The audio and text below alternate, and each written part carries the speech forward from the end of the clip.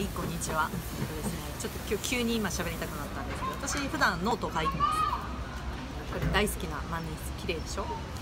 でノート。私ノートいろんなノート書いてきました。ノートって本当にそのライティング講座いう本音で書いちゃいないのでもあの書くっていう行為でねいろいろ出てくるんですけど私このノートがうーんここ2年いろんなの試した中で一番おすすめ。理由はなぜか。まず私万年筆万年筆用の内容になっちゃうかもしれないんだけど実は、まあ、モレスキンとかね、まあ、いろんな有名なノートありますよね。試してきました私。まずねモレスキンね万年筆で書くと後ろに染みちゃうんですよ。色がだからもう違うので書かなきゃいけなくなっちゃうっていうこと。でこのねライフのこれ私方眼のやつね、まあ、方眼が結構好きなんですけどこの紙質がまずいいんですよ。だからにじまないの。後ろに。書いても、うん、にじまない。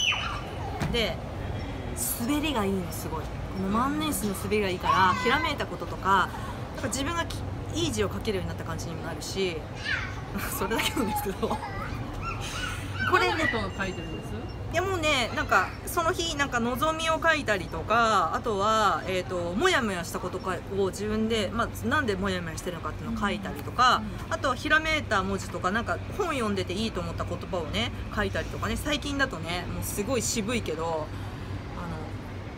この前ちょっとフェイスブックにもあげたんですけど「天地は外にあらず開闢は己にあり」っていうこの言葉めっちゃかっこいいと思ってメモりましたね。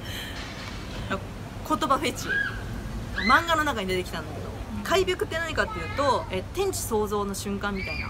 想像する。だから要はいろんなね世の中にいろんなことあるじゃないですか。でもそれは全部あの天地は外にないと。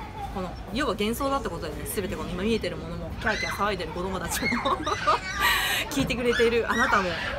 このテーブルも全ては幻想なわけ天地は外にあらず。で開闢要はその想像する世界っていうのは、まあ、己にありっていう言葉なわけよ言い方いろいろあるじゃないですかいろんな言い方世の中に。でもこの「天地は外にあらず開闢は己にある」って響き？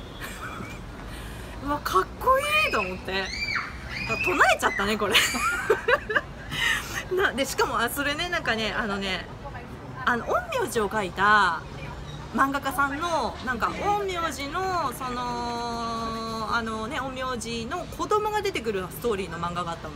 でそれを読んで読んでてでその中でもねもう一個かっこいいのがあったわ「我が息は神の身息」「身は恩ね」かっこいいと思って。それも読みました。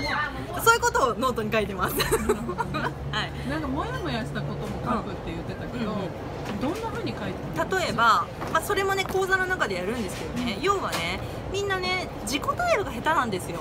私もねモヤモヤがたまりすぎた場合は人に相談します。でも自分である程度は消化できてくるんですよねそれはまあこういうことがあったと。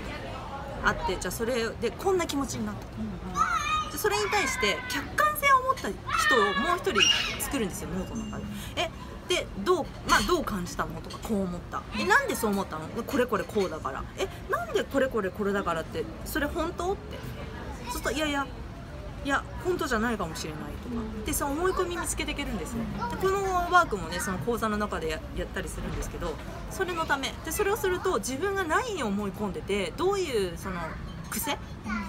でそういう気持ちになったかってことを気づけるからノート一つで望みも書ければ好きな言葉もメモできてあとは自分のやりたいこととか書いたりとか。あのブログで、えー、とそのノートを書くことの、えー、と本参考にした本があるみたいどんな本を参考にされたんですか、もう読んでないけどその時はあの藤本咲子さんっていう方のタイトルも忘れちゃいましたけどその人の参考しましたね。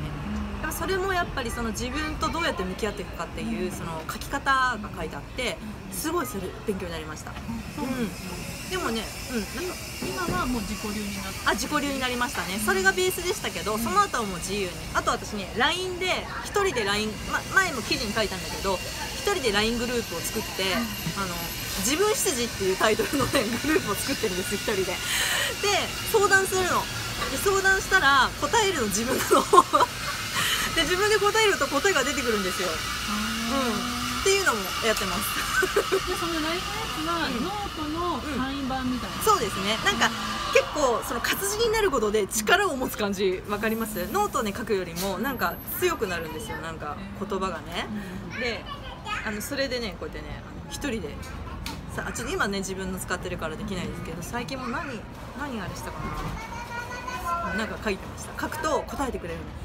そっかーってね結構いい言葉言うのよ。だからみんなね結構みんな自分に質問したらいい言葉出てきますよ、はいありがとうござはいいます、かわ話がどんどんずれた